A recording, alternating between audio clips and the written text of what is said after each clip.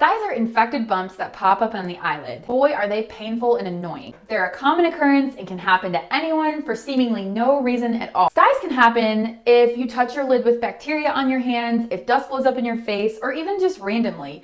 The first treatment that helps a new stye is heat. If you have a Bruder or Optase compress at home, use one of those three to four times a day. Um, you can also use a small potato or an egg. If you boil an egg, it'll get nice and hot.